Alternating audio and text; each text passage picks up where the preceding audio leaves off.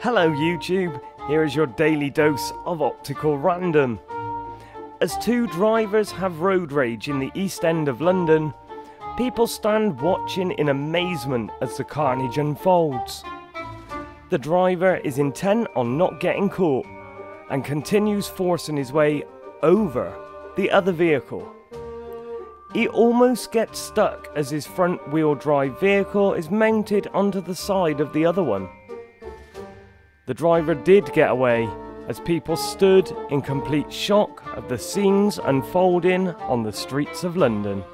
Let me know in the comments if you've ever witnessed road rage such as this in the UK. Thanks for watching.